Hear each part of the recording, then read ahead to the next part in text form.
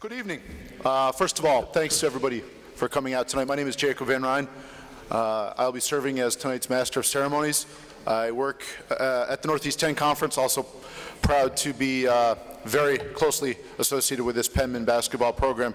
It's a, a distinct pleasure for me to welcome the four gentlemen up on stage tonight, four of the five coaches in the history uh, uh, of this storied, legendary basketball program.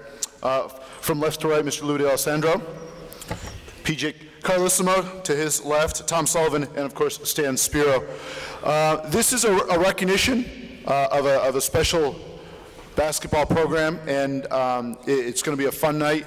We expect this to be a night of stories, uh, a night of laughs, uh, probably put some people on some uh, some uncomfortable situations, I imagine, as the, as the night goes on, but all in good fun as we do these things. So without further ado, um, I, I would like to welcome the president of Southern New Hampshire University, Mr. Paul LeBlanc to the stage. Paul LeBlanc has done a spectacular job in turning Southern New Hampshire into what it is today. Without further ado, the President of Southern New Hampshire, Mr. Paul LeBlanc.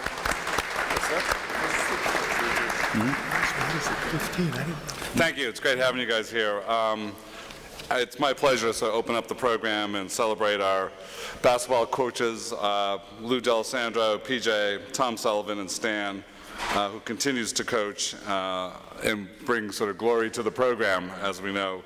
Uh, we have an amazing history of basketball here at Southern New Hampshire University before this New Hampshire College. Um, it's, you know, if you look at these four coaches, think about this. Combined record of 929 and 498, so that's a 651.651 uh, winning percentage. They appeared in 10 they appeared in 10 conference titles, seven NCAA Elite Eight appearances, two Final Four appearances, and recorded 22 20 win seasons. It's a really an amazing record um, legacy that they've built here. So when we think about uh, and Pride and we think about performance here, they set the standard for all of our teams, um, and, it's, and, it's, an incredible record. So please uh, join me in giving them a round of applause. So it's a little bit of, you know, introductions to introduce other people. So I'm going to introduce Mark Willett. Um, Mark Willett is the chairman of our board, one of my uh, 20, no, now 12, we have a smaller board, 12 bosses, um, and chairman of that board. So amazingly good looking, handsome guy, smart. No, um, he's all those things. Uh, he's an alumni class of 77 and a 2011 Hall of Fame inductee. He's also obviously a former SNHU basketball player who played for three out of the four coaches uh, on the stage tonight. And so apparently drove one after another out uh, until, until finally somebody outlasted Mark. So uh, please uh, join, join me in welcoming Mark to the podium.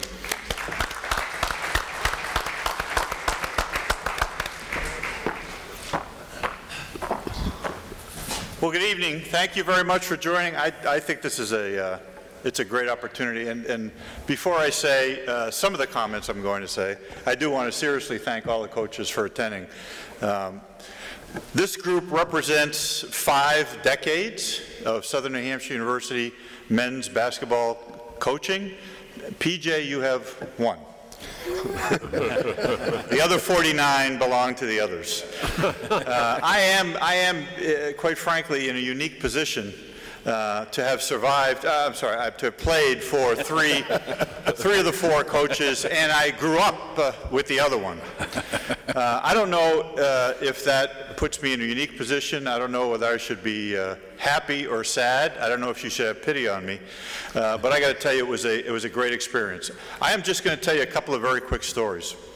But before I do, the ones that I would love to tell, uh, I know for a fact that neither Paul, the university, or the Board of Trustees would want me to, uh, to want to uh, accept my application to the Witness Protection Program. So I'm going to keep it to the ones that I can, I can honestly uh, uh, share with you. Just a couple. Um, I do recall uh, when I was a freshman, and Lou recruited me, and I got a chance to play for Lou. Uh, we at the time got an opportunity to play around the country. We'd go to the Midwest, we'd go to Canada, we'd play down south. One particular situation we were playing uh, the University of Akron. Uh, so we got out to the University of Akron uh, and we went from the hotel, relaxed a little bit, got over to the gym. We're starting to think about getting ready and the trainer came in and he said, listen, I got good news and I have bad news. By the way, these are all true stories. She said, okay, well, what's the good news? He said, it's 10,000 people, it's a great location, they're all amped for the game, it's going to be a great night. I said, okay, well then what could possibly be the bad news? He said, unfortunately, our uniforms didn't make it on the plane. he said, so tonight, your guys going to have to go out there in the home team's visiting uniforms. now, I don't know about you, but if any of you have experienced 10,000 people laughing simultaneously, uh, I, I, can assure you it was a long night uh, for the visiting team that night. Uh, one additional experience I had uh, with Coach D'Allesandro uh, was a game that we played up in Maine when I was a freshman. It had been the second semester. We had just finished the first semester, and unfortunately, we were minus a few guys uh, after the grades came in for the first semester, so we actually went up there with six. Um, very close game, came down to the last 10 seconds. We had a guy on the team that year by the name of Fred Petty who was 7'2". Mm -hmm. Fred was 7'2", and probably one of the nicest human beings you'll ever meet in your life, unfortunately. Uh, we didn't want him to be that nice, but he was nice. So 10 seconds left, coach calls a timeout, and he says, listen, just whatever you do, get the ball into Fred. So obviously, uh, like a good student of the game, inbound the ball, I get the ball, I take a look, there's 16 guys hanging all over Fred. So clock's running out, take the shot, make the shot, win the game, get in the locker room, everybody's celebrating, everybody's happy. Now, I don't know if you've shaken uh, Lou's hand. Uh, he's got a very, very strong handshake, and he has a very large college ring that he wears. so I'm sitting down, we're all celebrating, I'm sitting, I'm exhausted. He walks up, slaps me in the back of the head. I go flying off the chair on the floor. The trainer has to come. A couple of sutures later and a little bit of blood. Uh, it was a congratulatory, uh, thank you very much. I won't do that again, coach, I can assure you. Um, the only other thing I'll tell you real quick is uh, my first uh, meeting with PJ. So now it's between my sophomore and my junior year. Uh, and Lou has uh, retired and gone on to other things. Uh, and I get a call, I'm working uh, in the summer here in Manchester, uh, and I get a call that says, new coach would like to meet you. So I said, okay. Uh, I come up, it's a hot summer day. I had been working out all summer, I was in the best shape of my life. I come in and he said, hi, I'm PJ Carlesimo, I have a seat. I introduced myself. He said, look, he said, I've heard a lot about you. I understand you're a pretty good offensive player. You can shoot, you can score. I said, you know, coach, look, I'm working on my game. I do the best I can, and I appreciate that. He said, well, I just want to let you know I don't care. I don't care. I said, oh, well, it's nice to meet you too. Okay, well, this is going to be a lot of fun. He said, listen to me. He said, everybody can have an off night on offense, but you're never going to have an off night on defense. And it's at that point in time, I made myself into a stalwart defensive player for the rest of my career. Um, so listen, a uh, lot of lot of great stories I can tell you, and a lot of people both here tonight, and I'm sure many, many more. Uh, I played for Sully my senior year, which is great. As I mentioned to you before, uh, Stanley and I virtually grew up uh, in Manchester, and I followed him through the school system, uh, playing at Manchester Central High School. Um, and obviously he's had a tremendously successful run here. So I appreciate everybody's time. Uh, mostly I appreciate uh, the foundation that these folks have built for the university. Uh, there's a lot of guys that have come through this program whose lives have been touched in a very, very positive way. Uh, and when you think about it, it's like a brotherhood. Uh, and I'm very, very proud uh, of not only what the university has been able to accomplish, but what they've meant to the university over the past five decades. So thank you very much, and I'll turn the program back over to you.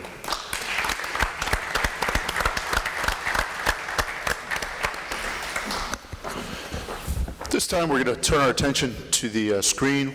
Our uh, Director of Athletics here at Southern Hampshire University, Anthony Falacaro, taped a message for uh, everyone in attendance here tonight. Good evening. This is Anthony Falacaro. Uh, sorry I couldn't be there with you this evening.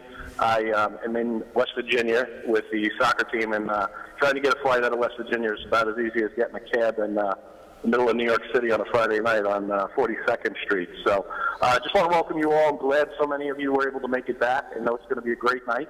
Um, if the technology works itself out. I'm sure Tom right now has a PowerPoint on the screen. I just wanted to show you a couple of quick numbers. You might be looking at the four boxes on the screen right now and thinking, is that the average point total of the four coaches that we have on stage and, and what their teams average? But um, if you actually go to the next slide, you can see it's actually Stan's average stroke score per 18 holes under the last four administrations. So you can see under my leadership, Stan's doing really well. He's got it down to a scratch golfer. But what's even more interesting is if you go to the next slide, and you see Billy LeBurge's 401k account balance in conjunction with Stan's scores. So as you can see, it's been very profitable for Stan, but we're still looking for some donations to the Penmen Club this evening. So if anybody's interested, we would be taking that. uh, Coach, I know you're going to get the last word in, so take it easy on me. Everybody have a great night, and hope to see you soon. Thank you.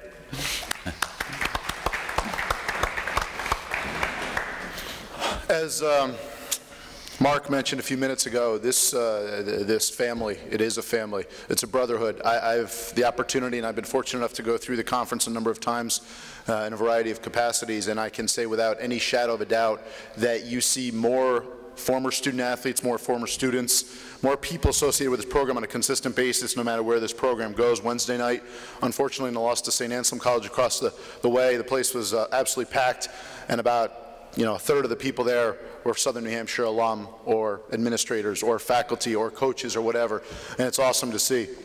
At this time, uh, we're going to uh, ask you to bow your heads as you take a moment of remembrance for those of us that, uh, those that could not be here tonight, as we have lost members of this extended Penmen family, and we remember them with a quick moment of silence.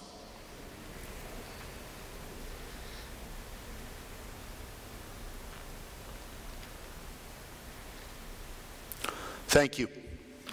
Well, I guess the time has come. We've had the remarks. Everybody said the hellos. It's the reason we're all here is to hear from the four gentlemen up on the stage. Um, Lou, I'll put you on the hot seat. You're the, uh, the, the, the, the, venerable up there, you, the longest tenure, and you started this besides Stan. Um, talk about getting this program off. Uh, and this, you started this, what this is today, and, and it's got to be, it's got to feel very good for you to sit up here and watch what it's come to be to this day. Oh, I think it's a great, it's a great feeling to see what's happened here at the, at the university. Um, I was coaching at Bishop Bradley High School. I was the football coach and I was the assistant basketball coach. And Ed Shapiro approached me and said, I need a coach. It was a really good opportunity for me. I was Frankie O'Donnell's assistant at Bishop Bradley.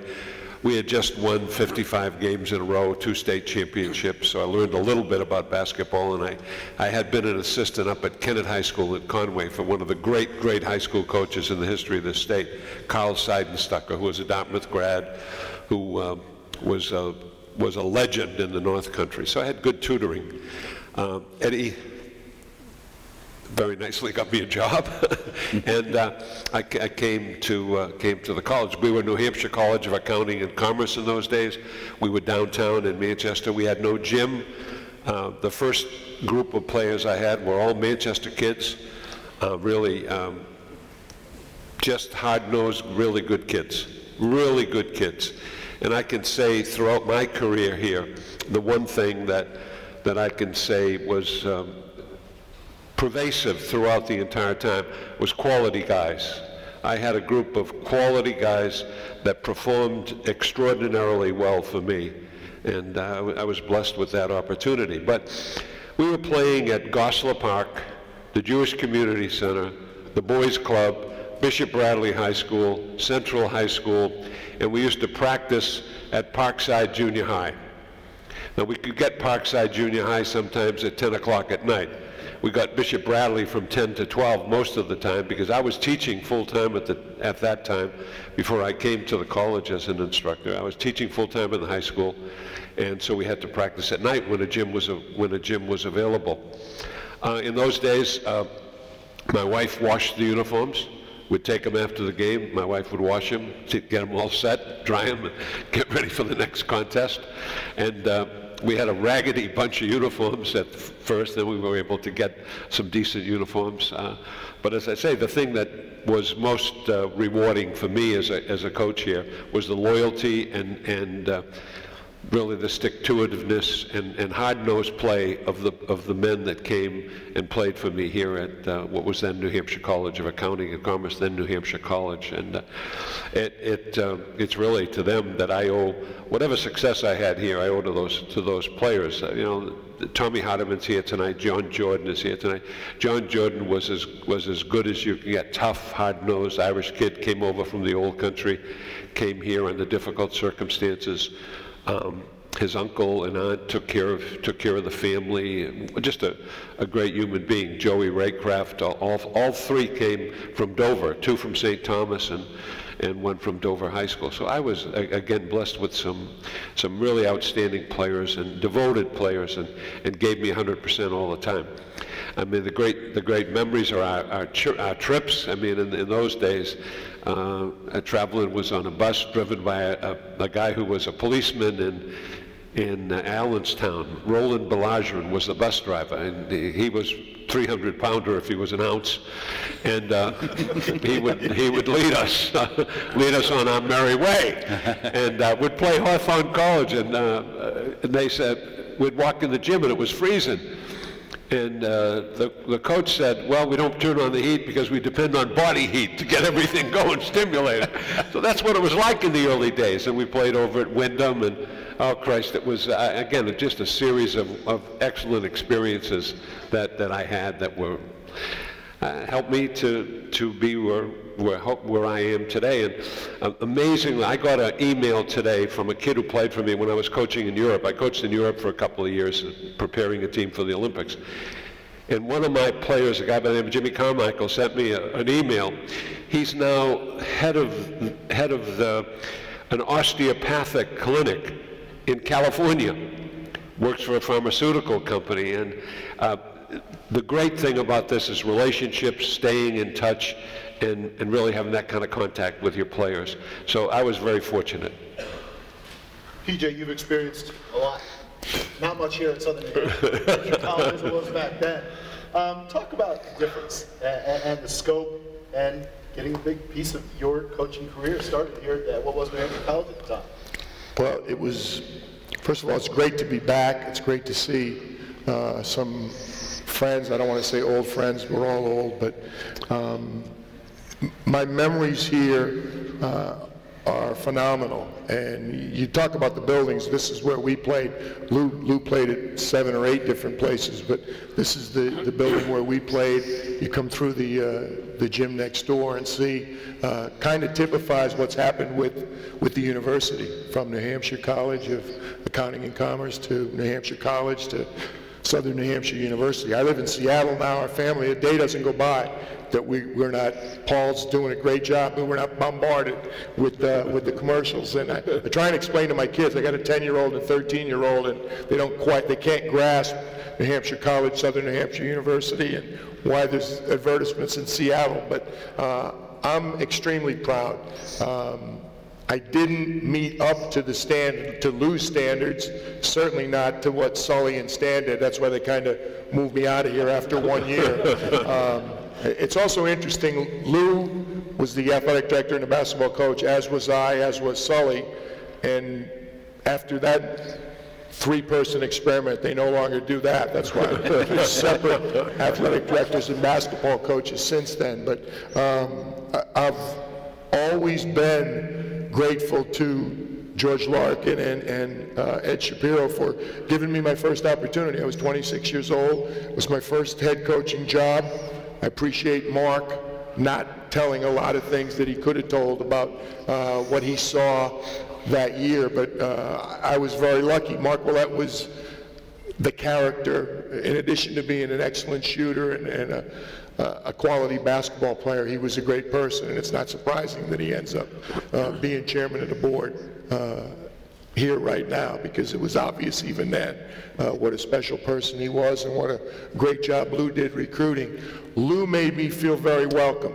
Uh, and I know Lou at, at that point, um, As a matter of fact, Lou went to governor's, I voted for Lou, I think seven times in, in, in one election that year. You could, you could, in those days, you could do that in Manchester. Yeah, whatever we thought was needed, yeah, was, I, I voted a lot for, often for him. But, uh, Lou went out of his way to make me feel welcome, and he didn't have to do that. I was a little snot-nosed kid coming up from New York that um, they brought in, and he could not have been more welcoming and teaching me the ropes and telling me what the deal was, and also leaving me some very, very good players, which I was barely able to get them to a one over 500 year, but uh, we, we were able to win the conference. And uh, when I came here, uh, brought my uh, best friend and uh, great player with me, and I, I really thought we'd be here for a long time together. And it was hard to believe, but I actually met a dumber president and Dean than Eddie and George, and I got another job at Wagner, and I ended up going back to the city. It was hard to believe that someone else would hire me. I was I was gone after one year and uh, kind of kicked out the door because they the standards were, were being raised here. But uh, I, I love the year I was here. I, Ernie Greenberg is here, and so many other people that I spent time with, and. Uh, could not have been treated any better, could not have enjoyed it more. Um, a lot of good memories. We were driving by, I want to say the wrong name, is it Colonial Village? Yes, Driving by, uh, driving up River Road and uh, uh, thought I would be here a much longer time, enjoyed it. I've enjoyed my trips back. It's been, you know, too many years and uh, our speaking time today was supposed to be graded to the amount of wins we had here. So, uh, that's it for me. I love being back here.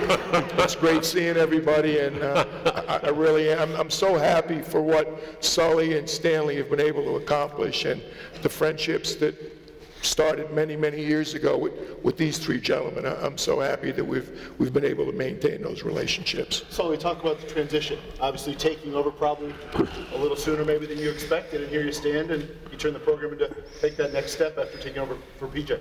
Uh, Yes, it was quite a bit sooner than I expected. Uh, And uh, one of the things I I still remember, Lou was great. I I was with PJ when Lou showed us the town. And uh, to this day, I wish I would have purchased land where Lou told me what was going to be built there.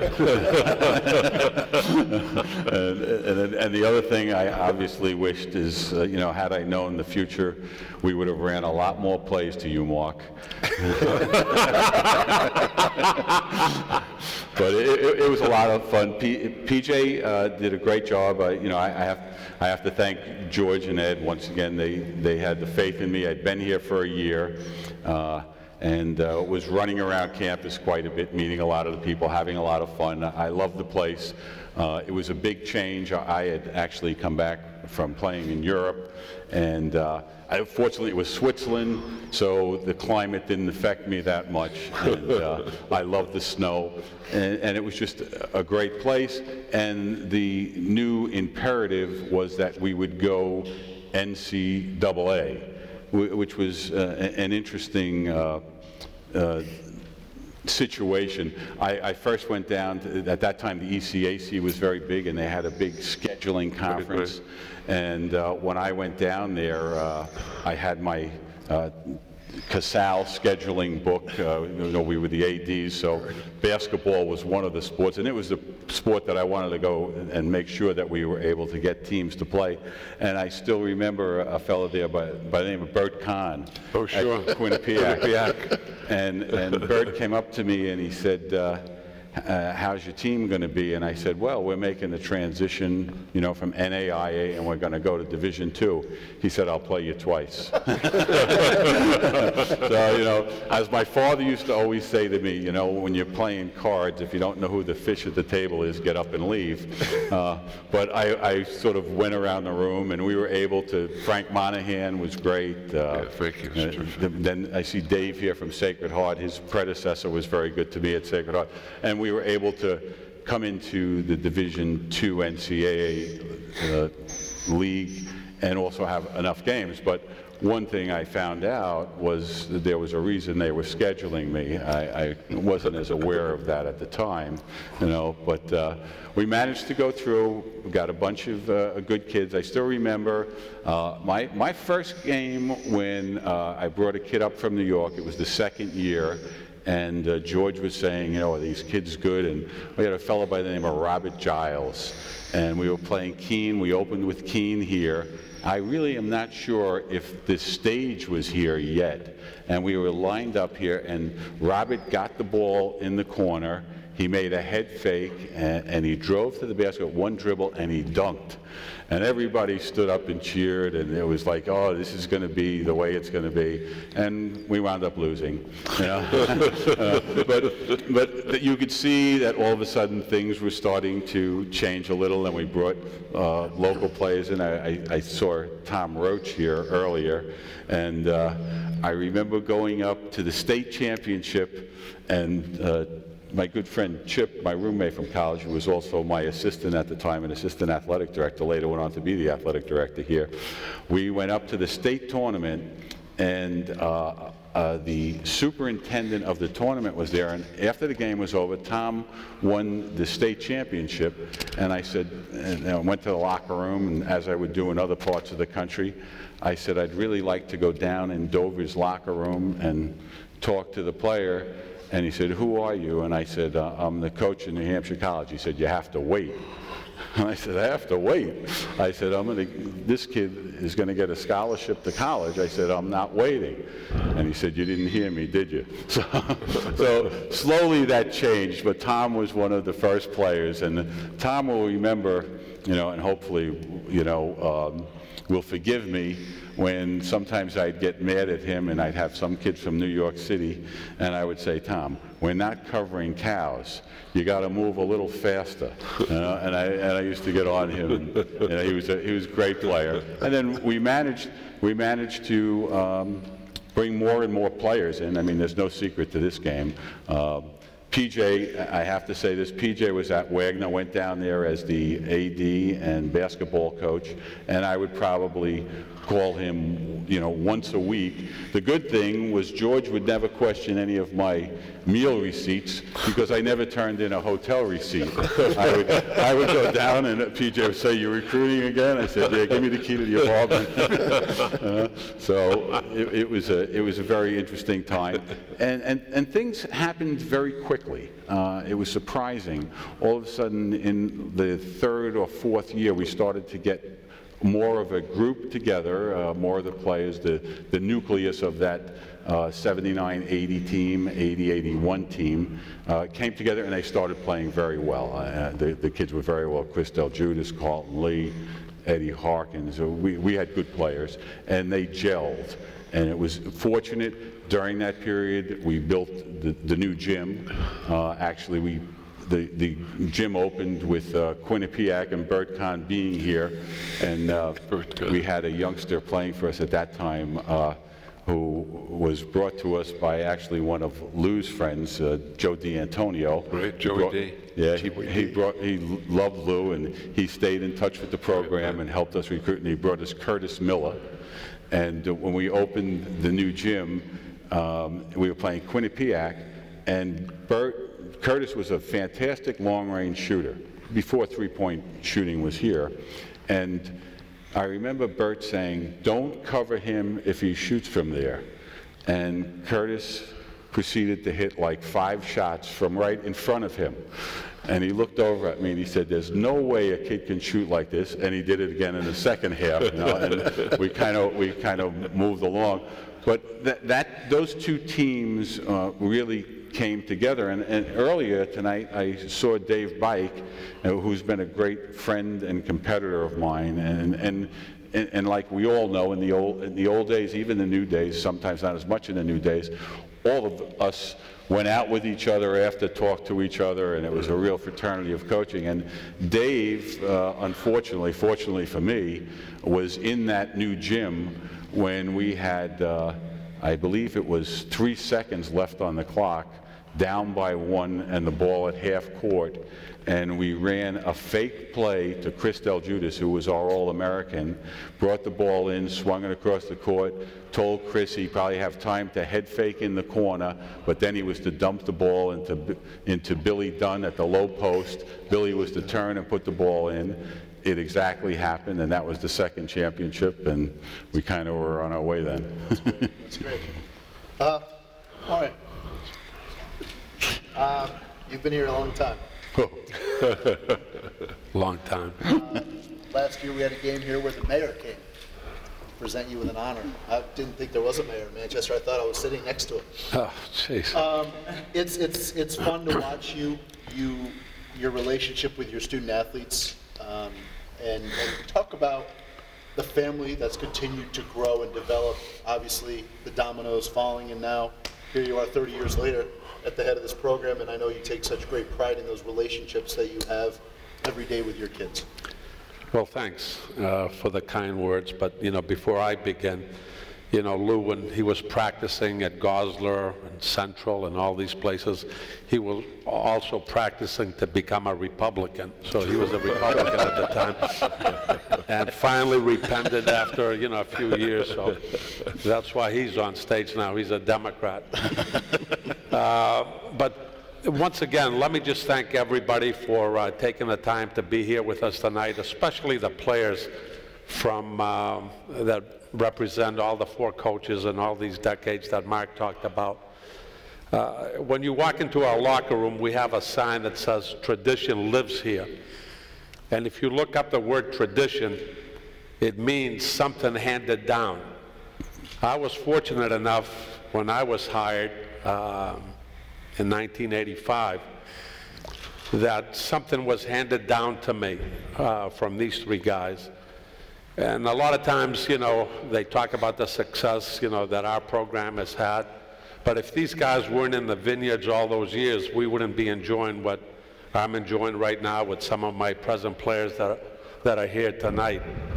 And, uh, you know, when you reflect and reminisce about, you know, some of the early times, Lou was uh, recruiting me out of high school uh, when I was at Central High School to come to New Hampshire College, and the school was two blocks away from where I grew up. And I didn't have the intestinal fortitude to tell Lou that I wasn't coming to New Hampshire College. And if you remember back then, being a former football player, he lifted me up from my rib cage and said, you are coming to New Hampshire College. And for a year, I wouldn't go near him because I thought he might, he might do something more drastic than lifting me up off, uh, off the floor. But what these guys accomplished before me is whatever success that um, we've enjoyed as a program. But it doesn't happen unless you have the support behind you. I was fortunate to work for three uh, great presidents. Um, Eddie Shapiro that hired me, uh, Dick Gustafson for maybe, I believe, 16 years, and now Paul LeBlanc.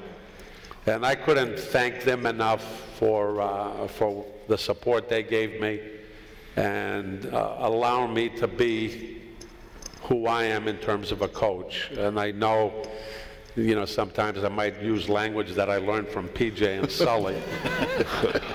but they allowed me to express myself over the years and, and be myself.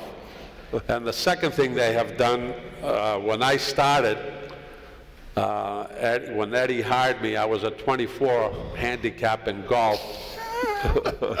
when Dick was around, I got down to a 10. And now with Paul, I'm down to an 8, so I didn't work too much. I played a lot of golf, and I wanted to thank uh, the three presidents. I was fortunate also to work for only two athletic directors, Chip Pollock uh, for 28 years, and again allowed me to express myself and and uh, and lead a program. Um, you know, the way, you know, we wanted to do it the right way. He's always been in my corner. George Larkin, who was um, uh, VP of Student Affairs, and now Heather.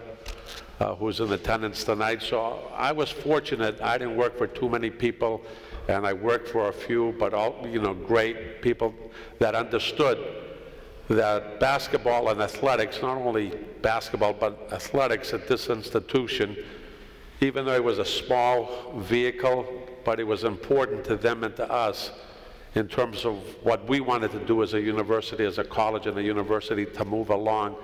Um, and I've always said, uh, when you look at the history of this school, it's one of the greatest academic stories uh, I think ever told. Uh, to see a campus just a few years back uh, in downtown Manchester to evolve, as PJ said, where commercials, you know, all, all over the country. Uh, I've just been blessed and proud to be, you know, part of that. And, um, uh, and, and, and the other thing is, I didn't have many assistants. I've only had, you know, a handful of assistants over the year, and that stability uh, allowed us, you know, to have the success that we've had. You know, they're here tonight.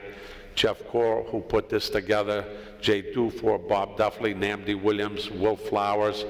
And again, um, it's because of them and the people that came before me um, that I owe a lot in terms of the success we've had as a program.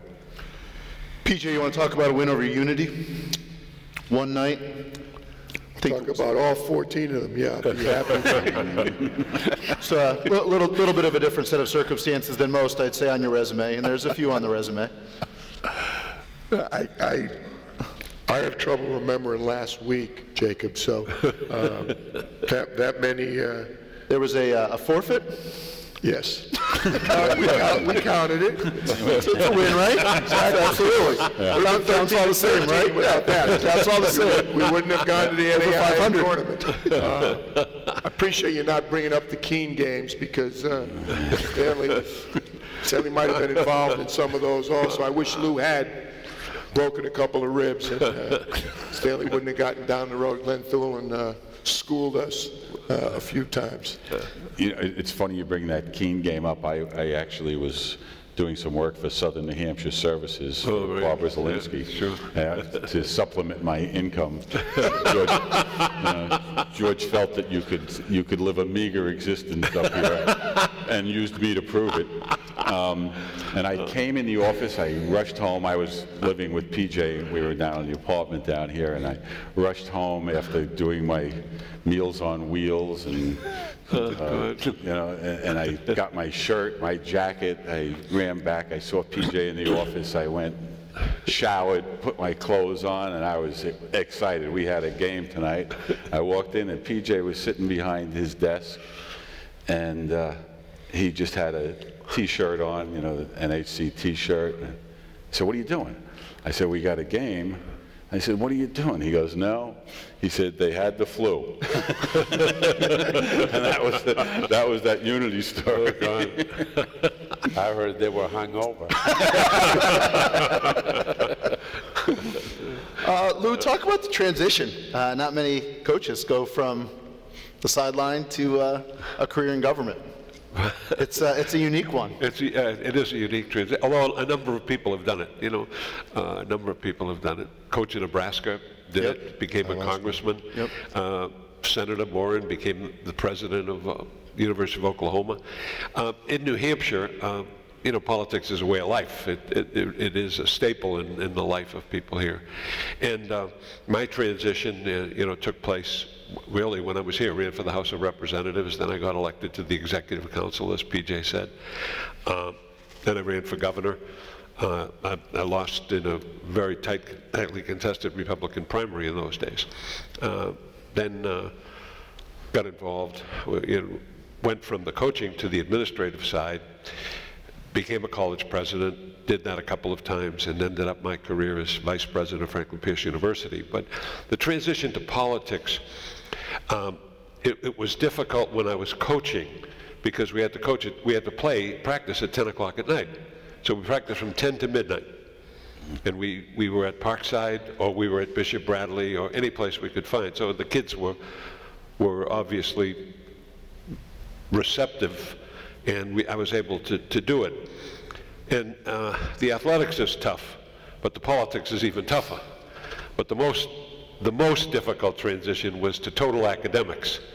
To me, that was the most difficult one. As you move up in the management side, I think Paul LeBlanc, Ed Shapiro can attest to this, and Dick Gustafson, uh, the most difficult transition was becoming a college president, when you had to manage everything, when you, you didn't have to manage just, you know, 14 or 15 players, but you had to manage a faculty, you had to manage students, you had to manage the service industry, and you had to produce results because the bottom line had to become black. If it didn't become black, you were in, in, in deep trouble.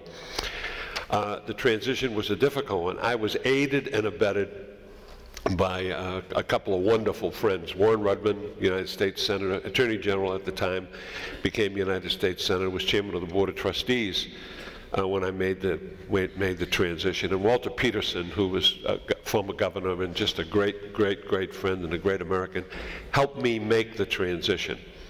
And uh, it's been sustainable for me. Uh, I, am still in the Senate. I've been, been in the Senate for 18, for the last 18 years, and uh, chaired the Finance Committee in the Senate for a couple of cycles, created the budget for the state of New Hampshire. So the, it, the transition was difficult, but made easier by my athletic experiences as a player and, and as a coach and, and working with people. I mean, the whole, the whole secret to this business is working with people.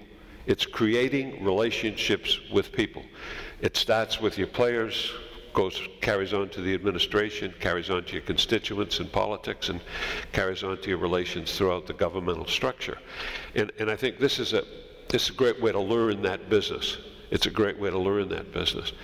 And it's, you know, I, I can tell you that president after president has said that athletics is a cornerstone of, of creating a quality human being and a quality public servant.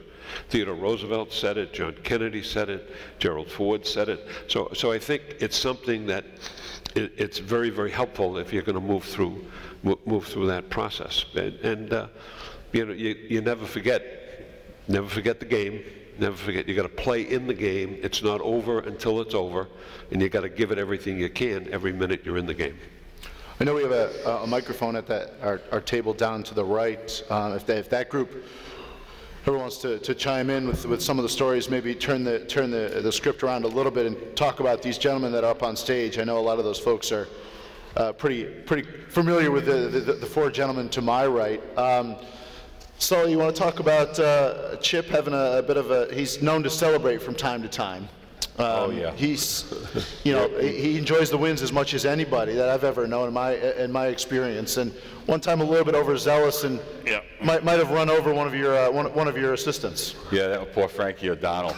Gee, I, I, never thought I'd be talking about Burt, poor Burt. Burt has passed, uh, Burt Kahn down at Quinnipiac. But we were playing at Pin at Quinnipiac, and uh, once again. Uh, well, it was a very tightly contested game, and as was my style, I would always sort of crouch on the sideline, and the assistants would come and tap me on the shoulder with their suggestions, ideas, and I would listen and try to watch the game. And uh, the next thing I knew, we had a steal at half court, and uh, I believe it was Curtis Miller took the ball and went down and had a thunderous dunk. I mean, everybody in Quinnipiac was silenced. And the next thing I knew, I felt someone pulling on my jacket, and I looked, and there was Frankie O'Donnell with blood rushing out of his nose. I immediately assumed he was having a heart attack or we had a situation here.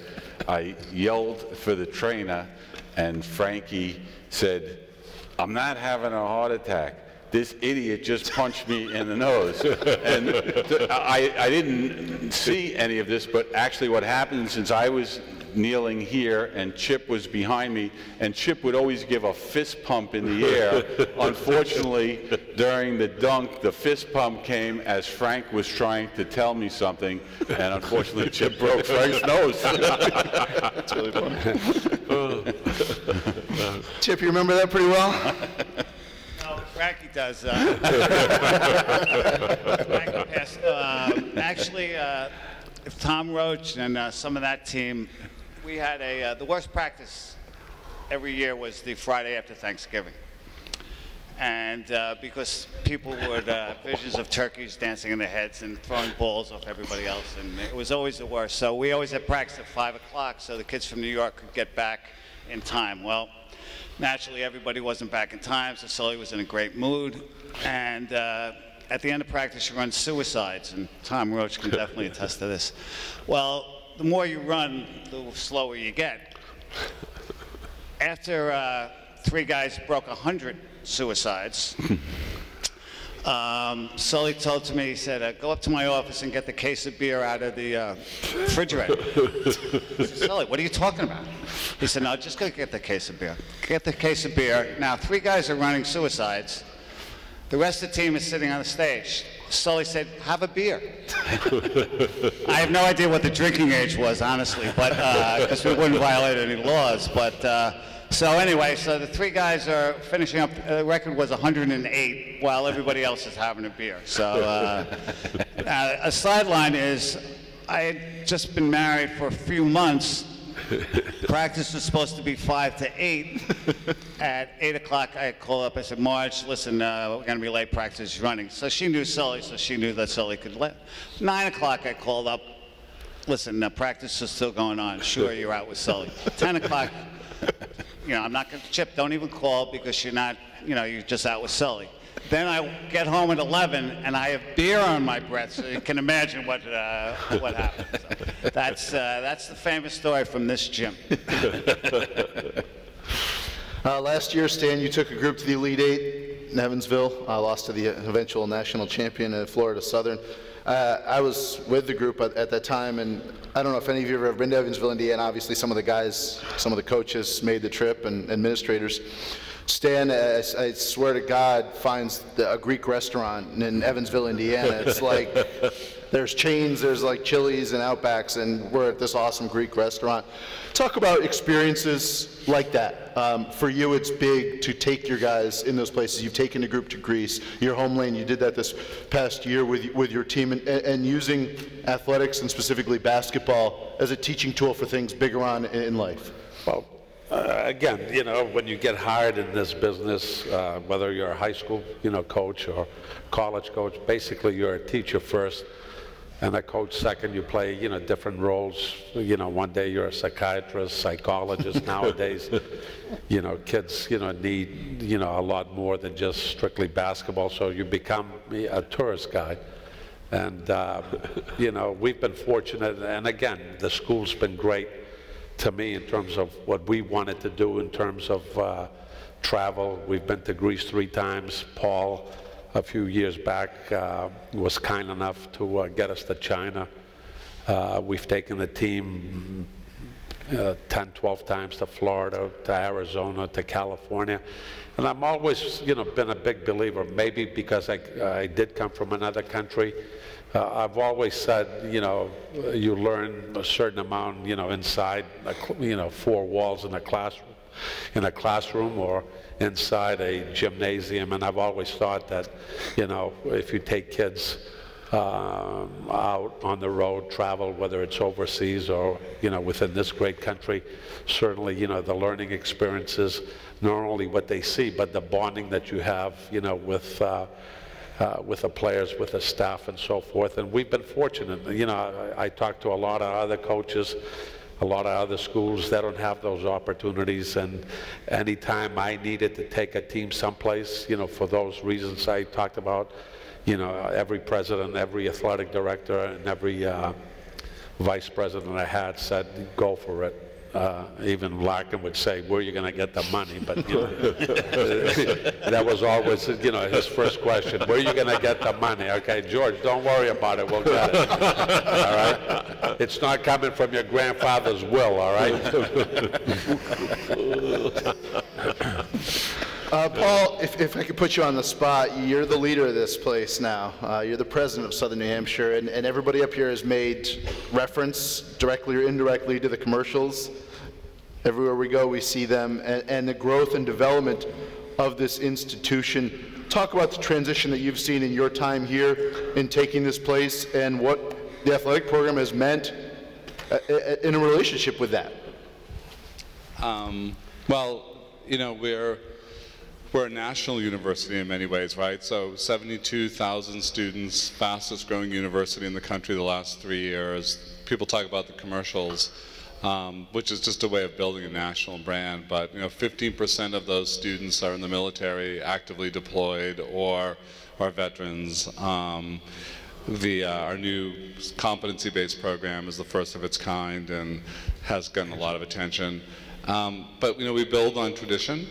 And I still say that this is a place that serves students for whom a college degree is not a guarantee. And uh, just out of idle curiosity recently, I kind of reviewed the people who report to me, and every one of them is first generation, oh. right? First in their family to go to college. Uh, every one of them had nothing handed to them. So without naming names, you know, one was talking about how in the 80s her family lost their family business during a recession and she worked four jobs to get through college. My mom worked in a factory till she was 76. Um, so when I so, you know, meet former players, Stan and I talk about this, um, it's easy to be at a Harvard. If you're taking the top 1% of high school graduates, you can put them anywhere. They're going to be a success no matter what you do.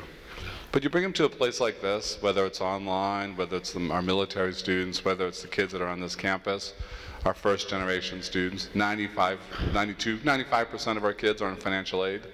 Um, no one's handing it to them. And the impact we have on people's lives is amazing. But that's not new. You know, you look at the pictures the, all the way back to when the Shapiros founded this place. Um, they're the sort of same students. And if you think about the players that Lou describes, these kids from Manchester, hard scrabble, no, you know, making it on their own, character, right? It's all about character. That's who we get still today. So when I meet a lot of the, you know, former players here, I, I think that's our story. So it's in our DNA. Um, you know, the president gives us a shout out. Uh, U.S. News and Report just named us the number one most innovative university. Um, we get lots of accolades for that. We're, we've hired 4,600 new employees over the last five years. Um, it's amazing. It's probably the best employment story in the state of New Hampshire. But all of that aside, and the beautiful new buildings, it's still about what you do inside those buildings and who you serve. When I of listen to the stories, and again, you know, I've, I've only worked with Stan, so I've heard the stories of PJ and Tom, and I know Lou well, of course, from, from state politics. Um, but, but I don't think it's fundamentally different. And when I sort of think about our successes, those are built on the shoulders of what Dick did. You know, we're sitting here at the table together, and before him, Ed, and before Ed, his, his parents. Um, and that's what we do, and that's what coaches do, and that's what great teachers do, and that's what great administrators do, and it's what great players do. Um, and it's always good to remember and be humbled by where you fall in the line, and who comes after will be better. And that's the way it should be. That's great. Um, and uh, yeah, so it, it's just, uh, for me, it's a complete delight to sit here and hear those stories. That's great. Thank you, President LeBlanc. Appreciate that. All right, share with us a moment that maybe people that weren't in the locker room didn't know about. Something that you can say that's PG, PG-13, something like that. that, that that's okay. We have some, some younger people out there. Lou, I'll start with you. well, uh, few, a few really uh, crazy, crazy things. Uh, we played Keene one night, and, you, and, in order to play Keene, you have to go over Temple Mountain. In those days, we were driving the vans. Uh, so I was driving one, and my assistant was driving the other. We got stuck on Temple Mountain. Had to get the kids out to push the van over the hill. Now, can you imagine that? If you, if you know that road, Madonna you could have died in an instant. Here we are pushing a 12-passenger van up Temple Mountain to get across so that we can get back to Manchester. Uh, a very uh, unique and very interesting e experience. One night we were playing in Boston. In those days we were in the Greater Boston Small Co College Conference. And uh, we were playing in East Boston at Don Bosco, which is off of Saratoga Street, if you know the, if you know the area and a group of thugs came after our bus. And they were going to, kids with tire irons were coming after our bus. So fortunately, we, we got out, and I said, hey, my name is Lou D'Allesandro. I'm from the neighborhood, and I think you guys ought to cool it. and we got away. It was a scary, scary experience, and the kids who were, who were on that team can, uh, can recall that. That's when you had to go places and, and play games, and uh, I think one of the things, Sully, that we should point out is nobody wanted to play us because we were good, and nobody wanted to lose. I, I remember Burt Kahn as, as well as you, and, and you know, Burt Quinnipiac, he didn't want to play us. Get, getting a game towards the end of my career here was the most difficult, the most difficult situation, getting somebody to play us. Doc Jacobs, who was at St. Mike's at the time, was going to give us a break. Frankie Moynihan gave us a break and gave us the first game against Merrimack College. So the, it, it, was breaking into that lineup. But those are some interesting things that happened uh, on, on the road with my New Hampshire College guys. PJ, being 26 years old as a head coach here, what was it like to uh, lead young men, being a young man yourself? It was interesting. It was uh, it was fun. It was a great challenge. Um, and, and, again, I'm repeating some of the things I said before, but um, for George and, and Ed, Eddie to give me that opportunity uh, is something that that that I I always remember. Uh, and this place is is a special place. And, and kind of piggybacking on what Paul said, um, obviously most of you have been here or spent a long time here. I spent one year here, but I, have, I, don't do real well keeping jobs. I've been fired a lot of places. I've seen a lot of universities in 24 years in college and 20 years in the NBA. But sometimes somebody from the outside brings a different perspective. And I, I remember vividly downtown. I remember New Hampshire College of Accounting and Commerce. I remember vividly the campus that I visited. I remember driving up from the Bronx and changing in, in I think it was a dorm, it was like a Quonset hut right. down there and interviewing with George.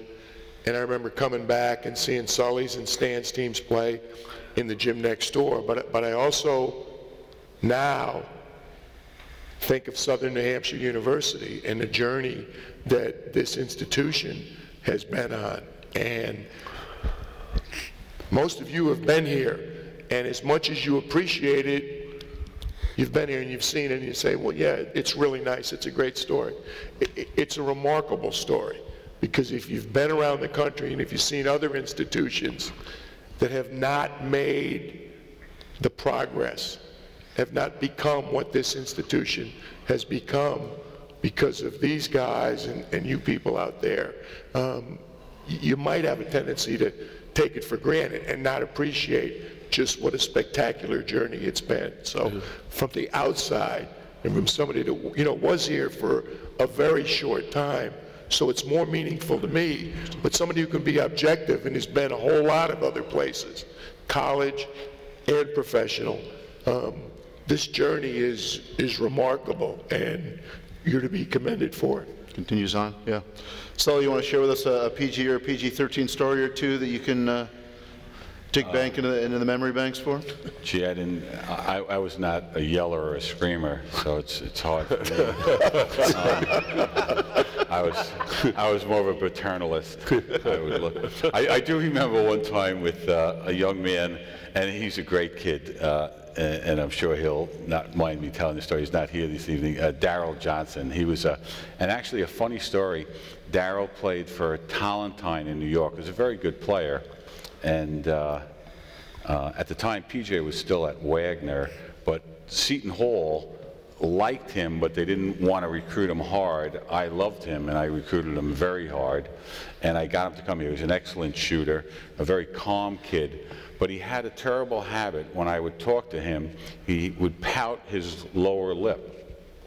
You know, and, and I didn't know how to take that. And one day he had missed a few shots, and I was in the locker room, this locker room right here, and he pouted his lip, And I said, I'll take that lip and rip it right over your head, and you'll have to cut two holes so you can see the basket.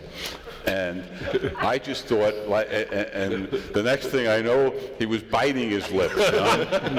So, and, and- and I, there was one other, one other story, I, I, I- and I, and I forget now, we were playing down at, um, we went down to play in a mixer at Mount St. Mary's.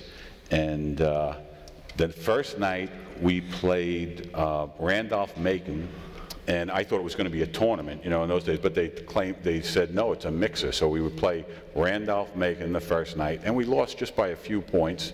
It was a good game, but I was very disappointed because I thought we made errors. I thought we didn't approach the game the way I wanted it approached.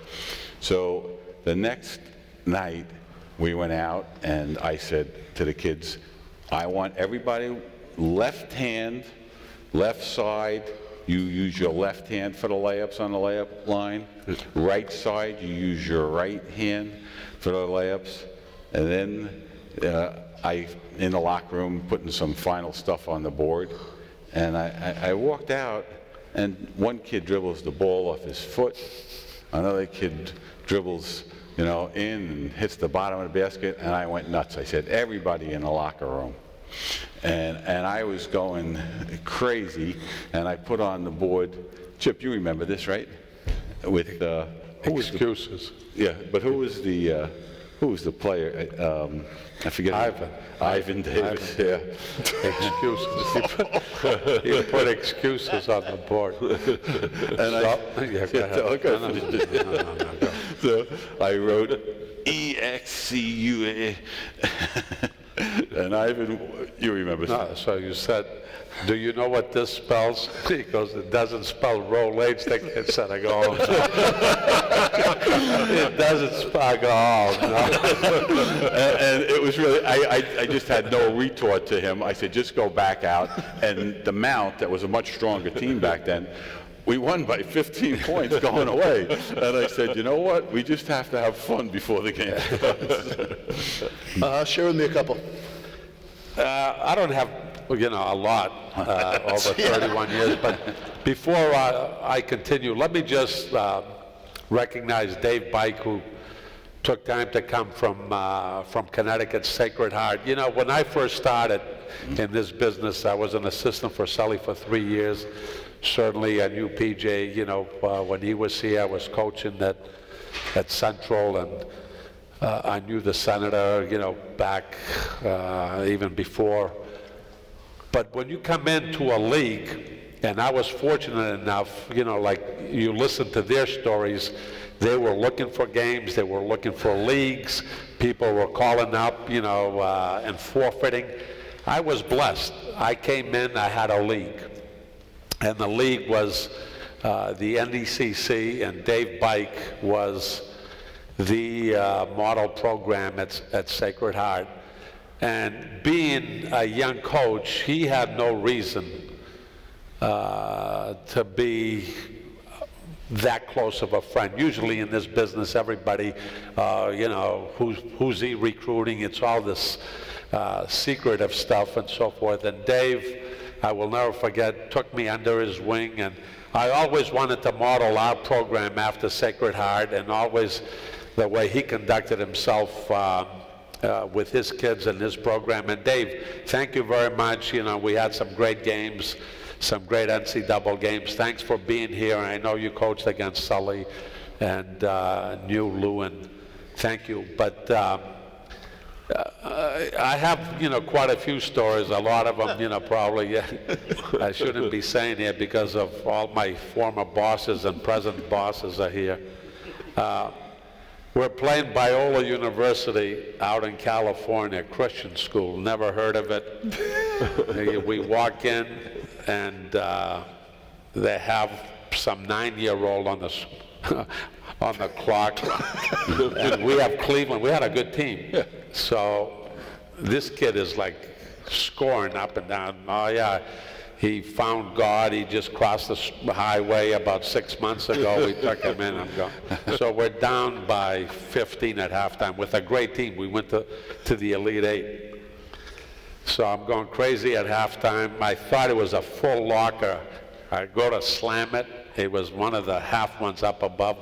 Comes back and hits me here, and I'm bleeding down. I don't want to show these guys. Get the. PG, PC. Now they go out at halftime. I'm going. What did I just do? I- do I go to the hospital? so that's about it. You know, I don't have. I, I've done some crazy things before. Cra- Uh, broken a few a few things in the locker room, but. Uh, uh, Uh, We're gonna, we're gonna wrap this up shortly, but I I do want to ask uh, each of you, before we go, uh, obviously fond memories of this, this uh, this fantastic institution, the growth and development, and- and obviously each of you have played an integral part in that. What this place has has meant to you. Um, Obviously, you taking this institution in your own way during your time here, um, but what it's meant to you to be a part of Southern New Hampshire University or New Hampshire College, or what it was at that, at the time you were here.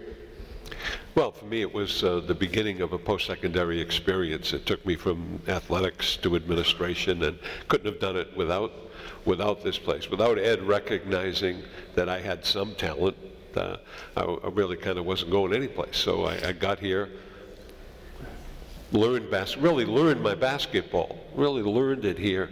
Told you I had these other coaches that when I started out, but lear- learned it here. So it provided a base for me. Um, and, and I mean, I got an opportunity based on my work here to prepare a team for the Olympics in 72 in Munich. So I spent two years in, in Europe, great, great contacts with people and so forth. Couldn't have done it wi- without, without this start.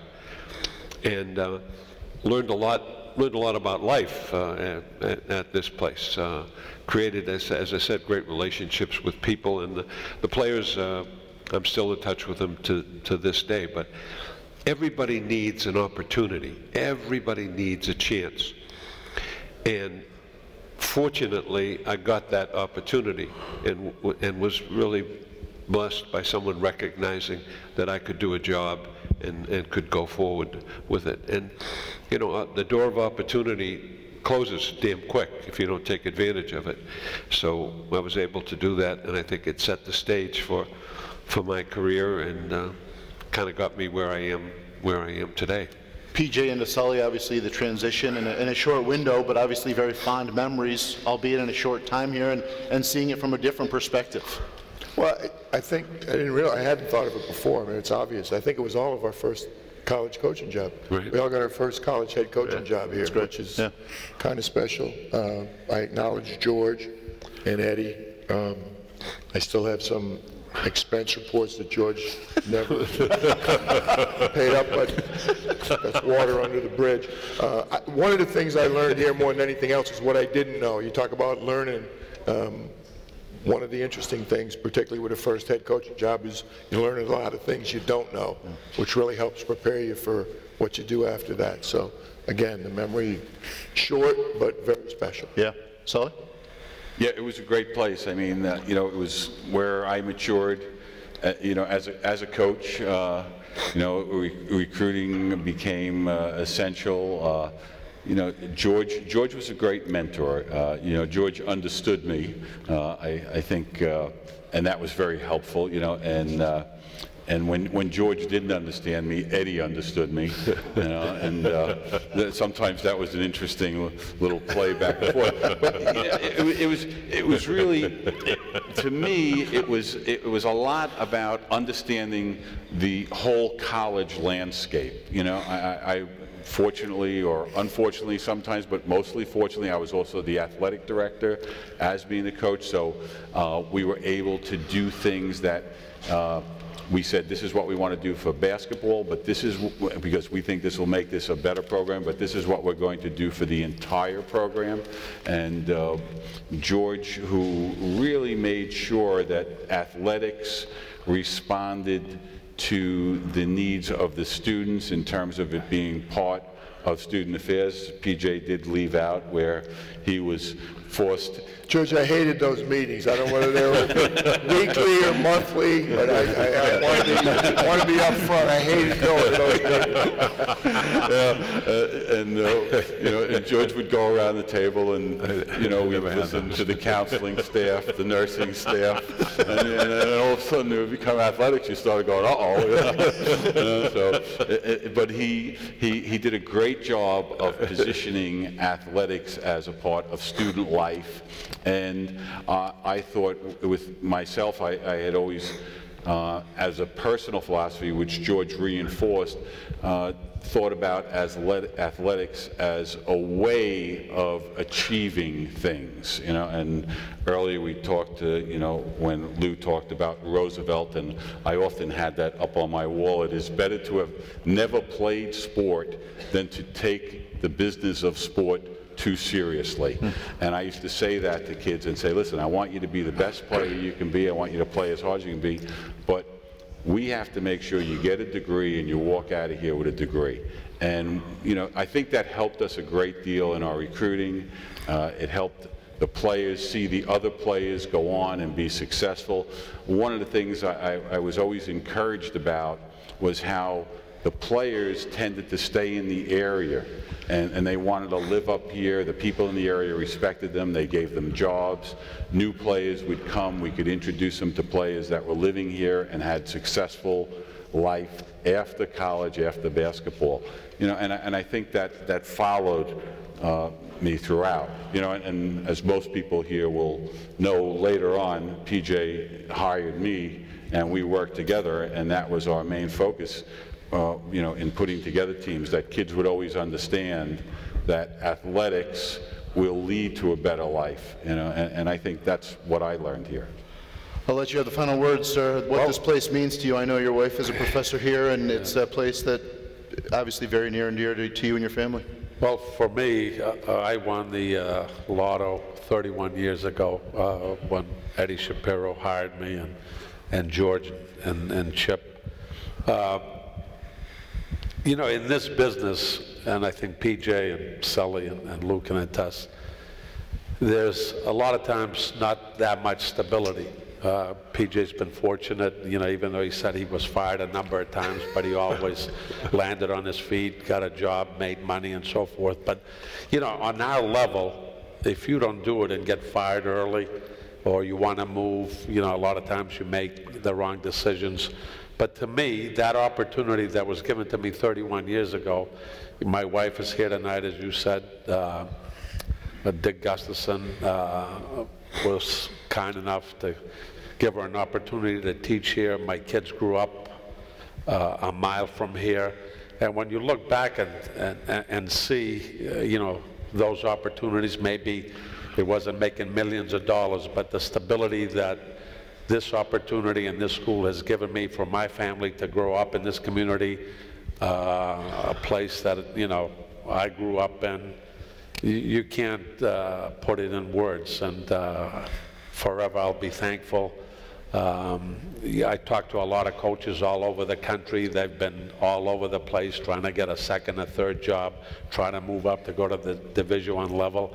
I never had that interest because of the uh, the family atmosphere that we had here. And, and, like I said, I wouldn't trade this job for uh, maybe PJ's on ESPN. But yeah. I, I, don't want, that is the last word, but I think you're aware of it. Sunday, similar, you got two of the greatest coaches in the history of Division II basketball, like 1,500 wins, two guys who have been at one institution uh, Stanley and Herb Magee. Philadelphia it's University. A, it's a treat to watch these two guys coach. It's phenomenal. Yeah, thank you. It's a great point, PJ.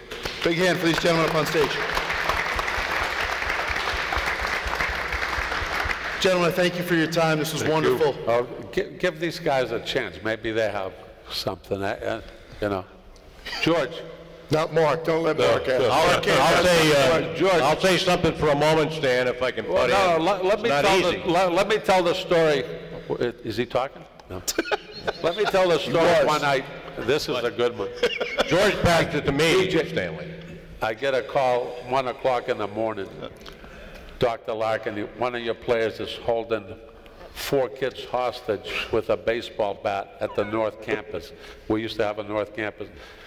Jim Calhoun, when he was at Northeastern, says, yeah, you got to take this kid, transfer, okay. So I go, George, he's not holding them hostage. Yeah, he has a bat.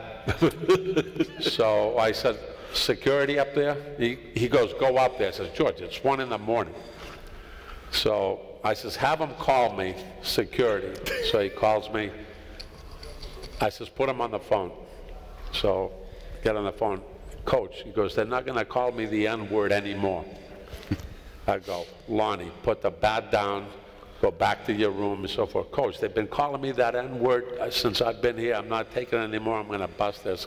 Lonnie, put it away. Make a long story short, the kid goes back to his room. I go see George the next day. I says, George, everything is all set. I says, what a what a great negotiation job. I says, better than Bill Richardson. I go, how about a, you know, like a small raise? He goes, get out of my effing office. I go, I'm better than Bill Richardson. I says, he was holding four hostages. Was that covered at the meeting the next week? Student affairs I meeting? said, just, just a small raise. A teeny one. Mm. Could I get serious just for a moment? Dick Gustafson here. I, I think this institution has great balance. Uh, as you know, in higher education, there's always this we versus they, the academics versus the athletic program. And this institution does not have that, generally speaking. I recall when I came here in the fall of 1987, the institution had had a couple of bad years. Things weren't well, and the faculty were very upset about things that were not happening here at the institution. And I had a chance to meet with them, and frankly, they raked me over the coals pretty well. And I said, just let's think for a minute. Um, everybody around this state believes that New Hampshire College is a very strong institution. New Hampshire College can't have difficulties and problems because your basketball team last year was 22 and 3. your soccer team almost won the national championship. Your women's basketball program is knocking everybody off. And the women's soccer team is coming on strong. The institution can't be having a problem if your athletic program is so successful. As you and I know, that's not necessarily true, that you can't judge the health of an institution by its athletic program alone. But you can't judge the strength of an institution by its academic program alone either. There's a balance here, and this institution has it. And the athletic program has given us a chance to recreate our, our academic program because of the success that they've had on the field. And four years, almost 10 years later, Chip and I and Dr. Larkin went to uh, Washington, D.C. For the first time ever, uh, NCAA and USA uh, Today newspapers gave out awards for top academics. Then New Hampshire College was number one in the country with a 100% graduation rate of all of its athletes for the previous three years. We took number one in the country academically as we had been doing athletically all along. So the balance that we have here, and you gentlemen are a great part of that, is something for this community to be very proud of, and we're proud to be part of it. Absolutely. Thank you very much. Dick's a good guy. That's very well said, Dick. Thank you for sharing those words. Uh, Lou, PJ, Sully, Stan, this was terrific. We thank you for your time and Thank uh, you. what you've made here to, with this program and, and obviously this institution. Thank you very much. Thank you, guys. Thank you.